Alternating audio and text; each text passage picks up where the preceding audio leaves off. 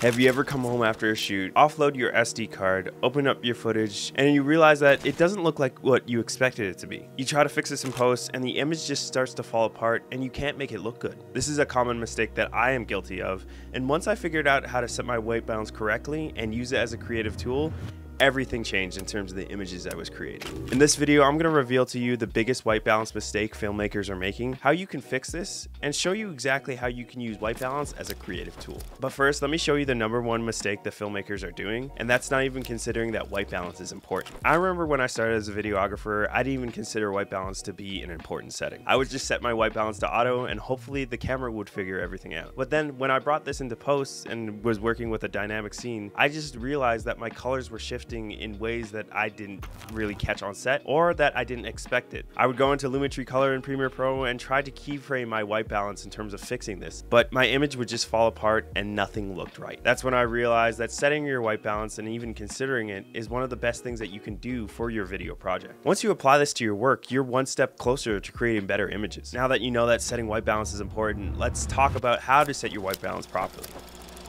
Once I understood how white balance worked and what it's supposed to be used as a tool, I would set my camera to 5600 Kelvin and use daylight balance sources. I created an image that was very neutral, but I was scared to experiment with different colored lights as well as different white balance settings. I know that this is the fundamentals of white balance and it's a great and amazing practice, but this can hold you back in terms of creativity as well as developing contrast and interest in your images. There are many scenarios and situations where knowing how to set your white balance properly will elevate your images. Here are a few examples on how I I change my white balance settings based on the environment I'm shooting in.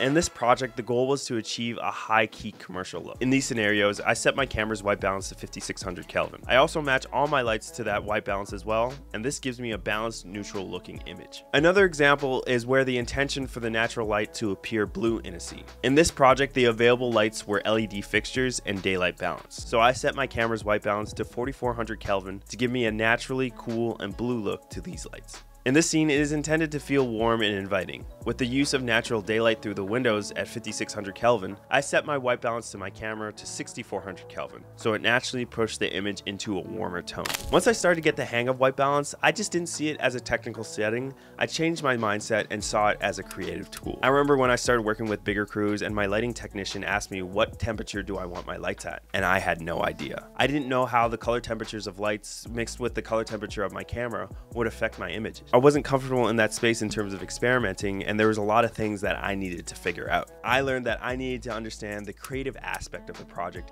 and what it was intended to look like. Once I understood that and looked at it in this perspective, it taught me to be a lot more intentional with my lighting as well as camera setting choices. The biggest question you should ask yourself before you even step on set is what is my film or project supposed to look like? Is it a moody night scene, a high key commercial, or a warm stylized film? Once you know that, you can start to figure out your camera and and lighting temperature in terms of what the image you want to create. Here are a few examples where I asked myself that question and used white balance as well as lighting color temperatures as a creative tool. In this scene, it is intended for our main character to be working at night. Naturally, filmmakers convey that with the use of deep blue moonlight. As we are shooting during the daytime, the natural light behind the actor is ambience from the sun and I set my camera's white balance to 3200 Kelvin so that the light would appear blue. I then brought in my lighting fixtures and set them to 2700 Kelvin to appear slightly warm to compensate for my camera's white balance. Contrast is the best way to add interest into a scene. In this shot specifically, I wanted to play with different color temperatures in my lights so there's interest across my image.